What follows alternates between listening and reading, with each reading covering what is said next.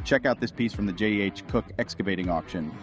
And this 1997 Kenworth W900 with a C15 cat and a 10-speed transmission.